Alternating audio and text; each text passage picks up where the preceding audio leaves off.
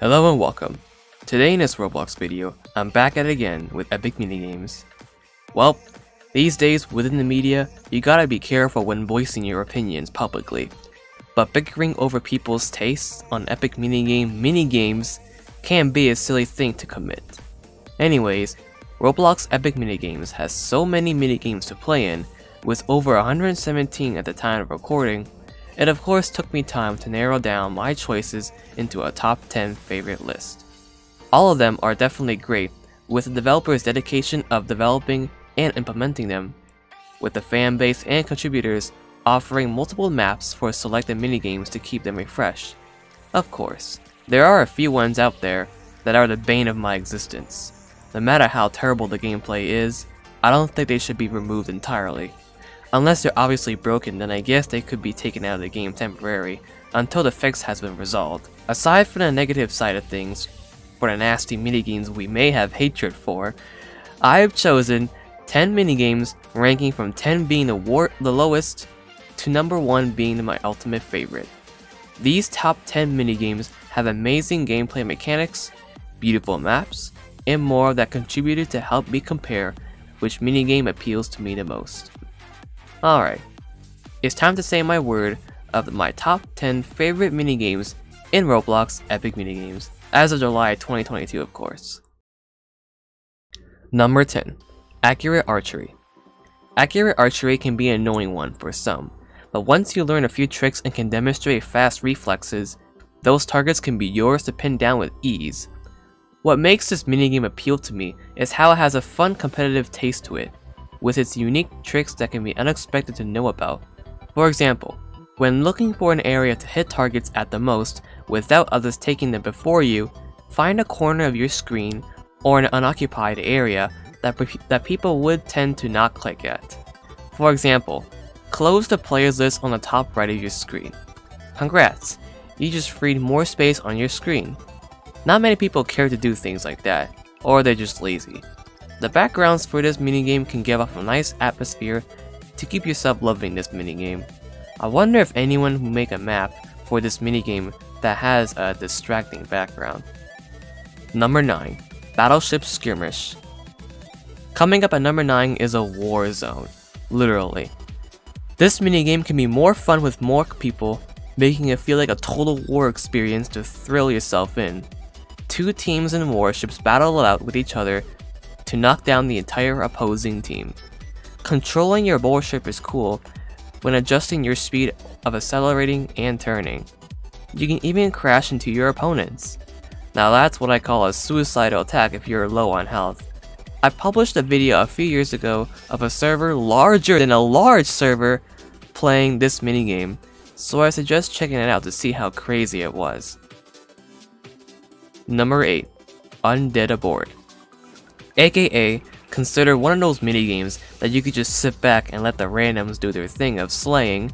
It's for some reason very funny to me once the players get overwhelmed with the undead, as they start scrambling around for safety, while I sit back watching the horror. Oh, how very pro of me. I just love how stupidly funny this minigame can be. The gameplay is great, you're on a ship in a thunderstorm as the undead latches on the ladders that you for some reason have on the sides of your ship, with your comrades slaying for victory. It gets oddly satisfying when you have a large group of undead just falling to pieces as the round concludes and the lag breaks in. Yes. Number 7. Bomber Block. Bomber Block is a confusing one to most, especially first timers like me. But the more I played it, the more I really enjoyed it. It is a strategic minigame that requires you to defeat all players with bombs. You break the brick walls with bombs, and as you blow them up, there's a chance for it to drop power-ups such as walk speed increase, an extra bomb, and amplifying your bomb damage. While playing, as the minigame reaches halfway, it gets pretty fast paced as the border wall closes in to eliminate the AFK, with you and your opponents closing into the middle to either battle out or end up blowing yourself up. I really wonder if there's a Mario game version of this. Number 6. Crag Clamber. You press the buttons to make your way to the top. It's as simple as that. Yet very fun to me. The way you quickly press the buttons to make your way to the top first can give off a really competitive feel.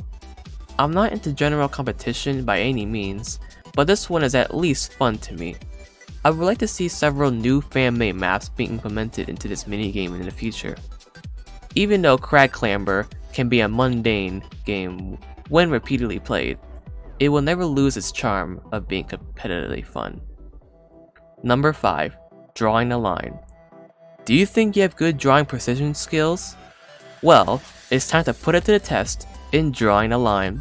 Depending on your device, for me that's PC, I use my mouse to guide along the line as much as I can, you try to stay in the red line as much as possible.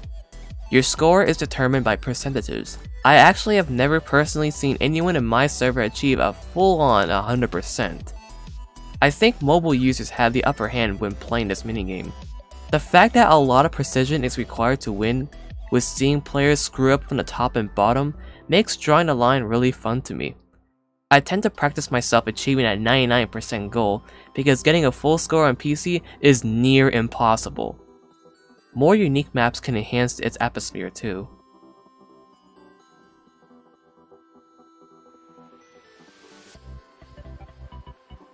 Number 4. Missile Command. This one is another buggy one to some people for some reason.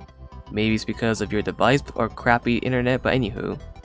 In Missile Command, you drive in a spaceship or sorts, and travel yourself through obstacles and through holes. The PC controls can be a tiny tiny bit oversensitive, but regardless of that, it's overall a fantastic minigame. What makes this relieving is that you don't have to crash into others because why would that be a thing? Seriously though, imagine if that was enabled on a large server. Whenever I play Missile Command, it gives me Nintendo Star Fox vibes. Especially the Star Fox for the Nintendo 3DS. Ugh, so nostalgic. Number 3. Back Forth Dash. We are closing in on a top 3, and everything that's in a top 3 I would consider my favorite but it took me time to properly rank them so here we are. The reason why I didn't get a higher ranking than 3rd is because the highest score possible has already been leaked. Excluding that, Back Forth Dash is a really fun parkour game. As of recording, there are a crap ton of fan-made maps coming soon, which is really exciting to hear. I wish I could make a map for it too, but I have little to no experience with Roblox Studio, but anyways. As you progress back and forth to claim points, several events happen when the time progresses, such as platforms collapsing, platforms turning to lasers, a giant sweeper spawning in the middle, a freaking chopper blowing up players, a freaking tsunami, and more. It just makes it a thrilling experience for parkouring. Coming up at number 2 is Flee the Facility.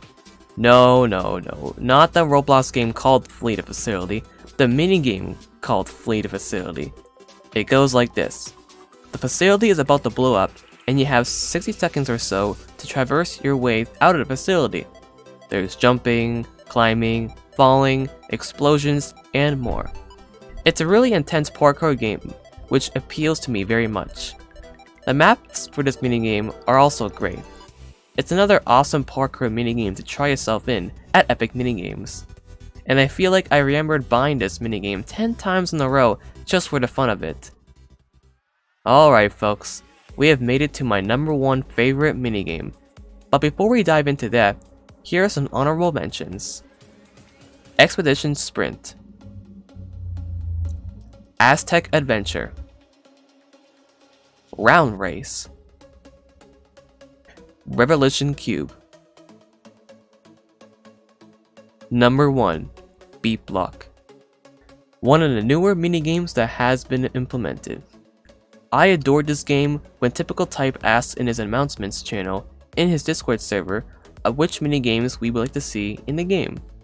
I voted for it, and I can absolutely say my vote was 200% worth it. Beat Block is so fun to me. I can't even properly explain it, you listen to this amazing beat as the block switch turns a which is safe to stand on or not.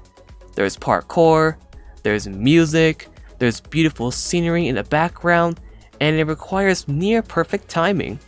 All of this in one minigame makes me love it so much. Not to mention it reminds me of the Super Mario levels that involve these beat blocks. I hope to see new fan-made maps in the future. And that is it for my top 10 favorite minigames in Roblox Epic Minigames, as of July 22. Man, I feel like I said the word minigames way too many times. If you'd like to for some reason see myself rank the top 10 worst minigames in Epic Minigames, make sure to subscribe. What are your favorite minigames? Comment down below. As always, thank you for watching, and I'll see you all in the next video. Peace!